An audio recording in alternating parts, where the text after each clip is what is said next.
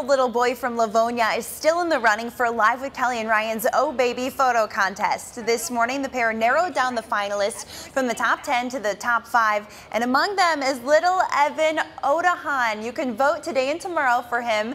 The winner will be announced on Friday, and the grand prize is a family trip to Fiji. You can watch Live with Kelly and Ryan weekdays beginning at 9 a.m. right here on 7.